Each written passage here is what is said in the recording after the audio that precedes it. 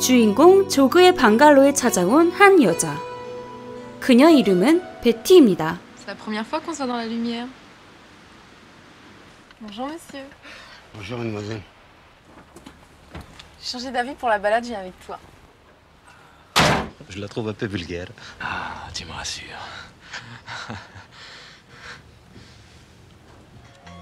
Je voudrais dire que je suis contente d'être avec toi. Si c'est possible, j'aimerais qu'on reste ensemble. Vous êtes ici depuis longtemps, j'ai jamais eu à plaindre de vous. Et je ne pense pas que vous puissiez garder cette fille ici et faire convenablement votre boulot. Il faudrait leur redonner un petit coup de peinture à toutes ces baraques. Ça ressemble à rien. 집주인은 베티가 사는 조건으로 자신 소유의 동네의 집들을 모두 페인트 칠하라는 명령을 합니다. Rien, des conneries. Encore pas une de trois bricoles. Eh ben, c'est vachement bien ça, j'adore ça moi la peinture. 그리고 아무것도 모르는 베티는 즐거운 데이트를 하는 것처럼 재미있게 페인트질을 하죠. J'attaque le mur Bah ouais, attaque le mur, ouais. Maintenant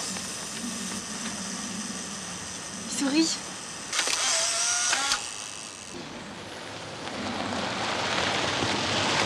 Et vous pouvez vous continuer à vous éventer comme ça, ça vous va très bien, je trouve. Et c'est quoi finir tout ça Bah, les autres bungalows, bien sûr. 그저 집 한 채를 칠하는 줄 알았던 베티. Non, Betty, Non, non, mais oh, Betty, oh. arrête, Betty Non mais vous êtes folle Oh, en plus vous repeint les poubelles et puis les pylônes Putain, arrête de me jeter des trucs pareils Mais comment tu veux que je t'aime moi si je peux pas t'admirer Ça rime à quoi Très bien, bah regarde, regarde, Betty. Tu vois par la fenêtre Alors écoute, on s'est trouvé un coin peinard, hein, avec une véranda pour baiser. Eh bien, je crois bien que c'est toi qui fais les. Tu vas voir toi Parce que j'y suis attaché. C'est sentimental. Non, Ouais. Betty. Mais écoute, Betty, tu vas pas te mettre à dire ça maintenant. Pourquoi je vais me gêner peut-être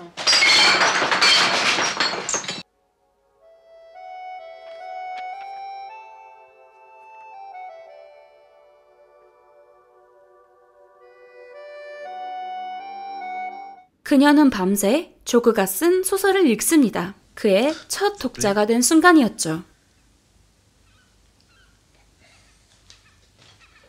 다음날 집주인이 또다시 그들의 집에 찾아와 일을 하라고 꾸짖자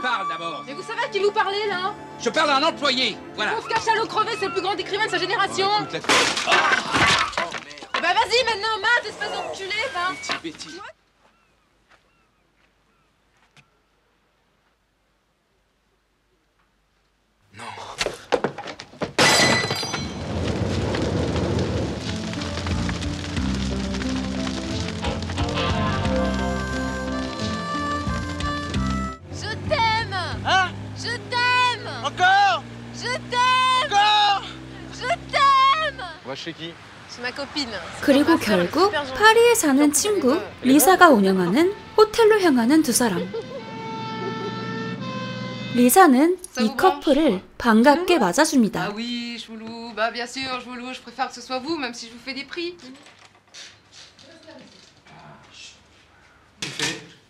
même le manuscrit du siècle, mon chéri, faut le taper, sinon les éditeurs, ça lit pas.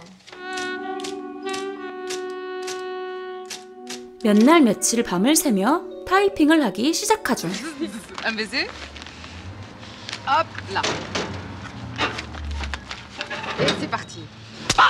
리사는 남편과 사별한 뒤 한동안 외로운 시간을 보내다 오랜만에 사랑하는 사람을 만나게 되고 세 사람은 그녀의 남자친구 에디와 함께 호텔에서 지내게 되죠. Qu'est-ce qui va pas Y a pas de courrier avec des conneries. Mais ça fait que 4 jours, Betty. Qu'est-ce que c'est 4 jours C'est rien. Y a pas de courrier le dimanche. J'ai tout lu, mais rien de comparable avec ce que vous avez eu le mauvais goût de nous faire parvenir. Je vais me charger de votre publicité, croyez-moi. Puisse cette chose retourner dans un endroit qu'elle n'aurait jamais dû quitter, je veux parler d'une 베티가 jeune mariée 애타게 qu'elle venait de 기다려온 출판사의 답장은 실망스럽기 짝이 없습니다. Tu viens avec moi Ouais, ouais, ouais. Bon, bah je vais me remaquiller un peu, je reviens.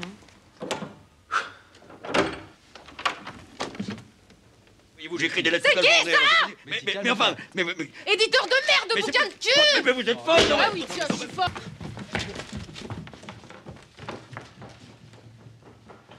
Mais t'es complètement malade, qu'est-ce qui t'a pris Mais pourquoi tu laisses toujours faire, toi? Mais il m'intéresse pas, c'est un connard, Betty Mais 아니나 다를까 편집자는 베티를 고소하게 되죠. 결국 경찰서까지 가게 된 조크. d'édition, 하지만 경찰의 반응은 그가 생각했던 반응과는 무척 다릅니다. de quoi je parle Vous me croirez ou pas, mais ce bouquin, ils me l'ont refusé 27 fois. Alors qu'est-ce qui leur prend tout d'un coup Ils sont tous contre moi, hein Mais non, mais non, vous savez, faut pas chercher à comprendre, hein. Il y a peut-être une solution. Bah, allez-y, mon vieux, mettez-vous à table. Bonsoir. Alors tu vas retirer ta plainte. Souviens-toi bien d'une chose. Moi, j'ai rien à perdre. Rien.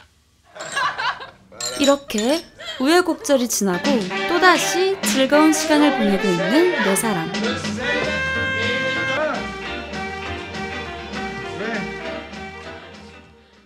어머니의 죽음으로 인해 큰 충격을 받았을 그를 위해 네 사람은 함께 장례식에 가기로 하죠.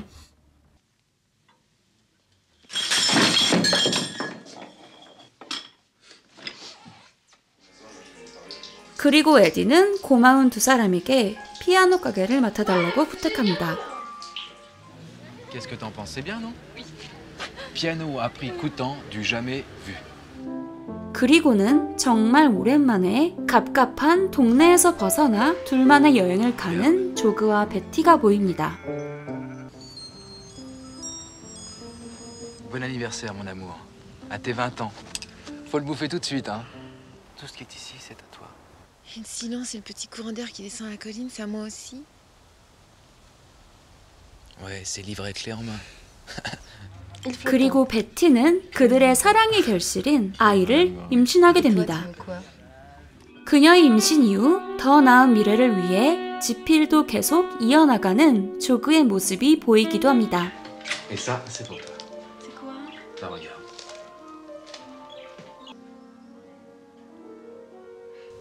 Mais j'en sais rien. Je vais faire les analyses demain. Faut être sûr. 텅빈 집, 베티도 보이지 않고 조그가 선물한 아기 옷도 모두 찢어져 있습니다. 결국 베티를 찾아 나선 조그.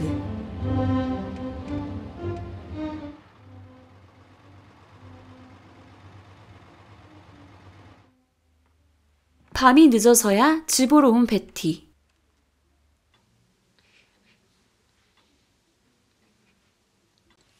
베티가 미쳐버렸다면 자신도 함께 미쳐버리는 것을 택하는 조그.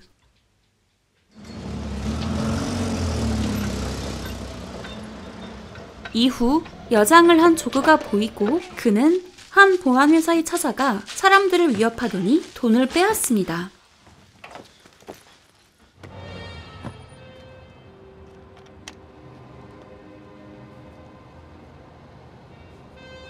자신이 훔친 돈을 베티에게 보여주지만 그녀는 더 이상 이런 미친 일을 보며 즐거워하지도 못합니다. 예전처럼 데이트를 해보지만 미소조차 짓지 않는 베티. 그러나 이때 그녀의 눈이. 반짝입니다.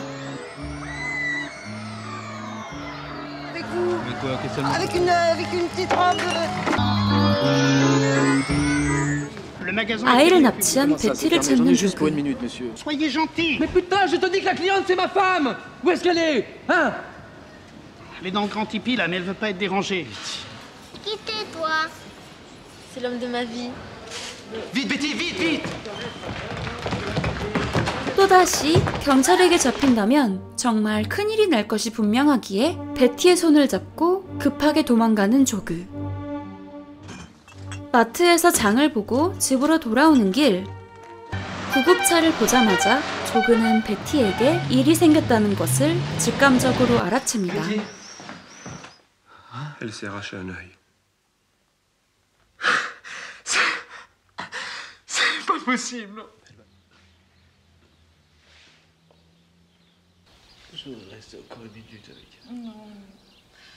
운명의 장난처럼 지금에서야 출판 계약을 하게 된 조그. Est. 그러나 병원에 있는 베티의 모습은 조그의. 마음을 찢어놓습니다.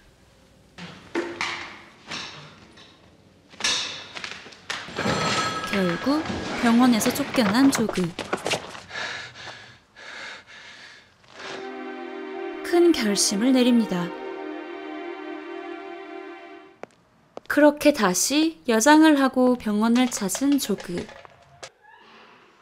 아무도 그를 알아보지 못합니다.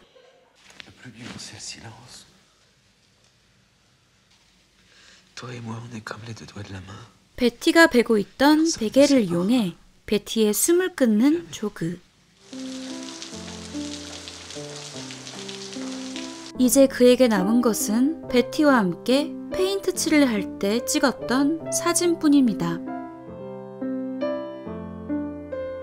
사랑하는 베티를 떠나보냈지만 조그의 하루는 계속됩니다.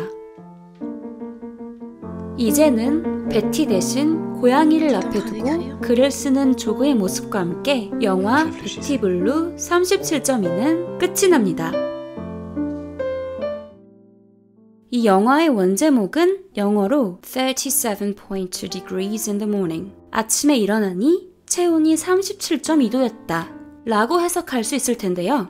37.2에 관한 비밀을 이미 알고 계셨던 분들이라면 베티와 조그 사이에 임신이라는 문제가 생길 것이라는 걸 알아채셨을지도 모르겠어요. 여성이 배란기가 다가왔을 때의 체온, 그리고 아이를 임신한 여성의 임신 초기의 체온이 37.2도이기 때문입니다.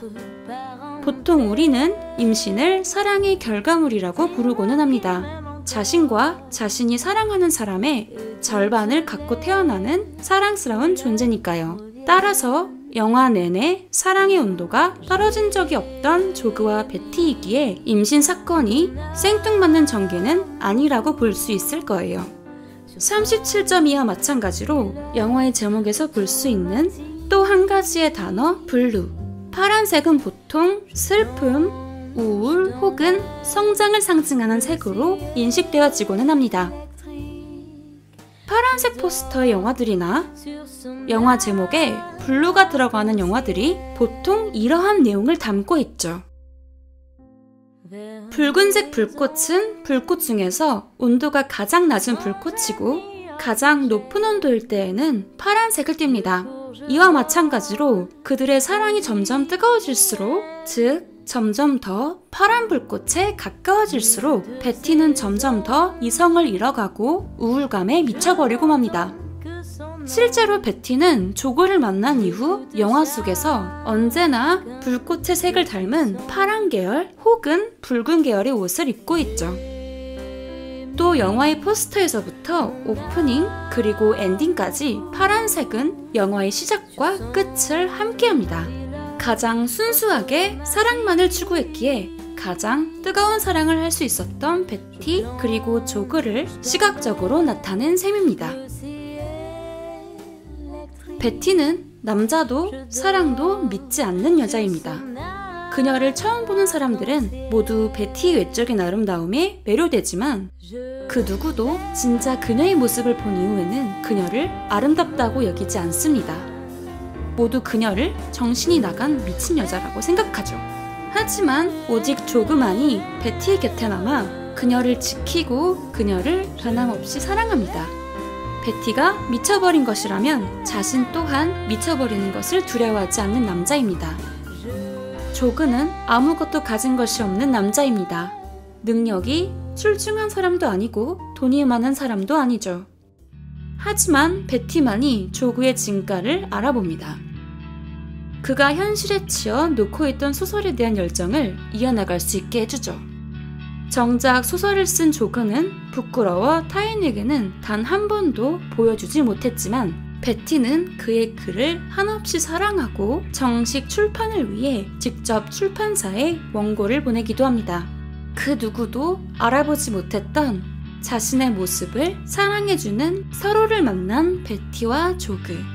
순수한 두 사람의 가장 원초적이면서도 가장 뜨거운 사랑 이야기. 베티 블루 37.2 저의 한 줄평은 베티 조그를 만나다. 조그 베티를 만나다. 입니다. 185분이라는 긴 러닝타임이 무색하게 정말 재미있게 즐길 수 있는 영화입니다. 여주인공 베티 역을 맡은 베아트리체 달의 매력은 정말 역대급이에요.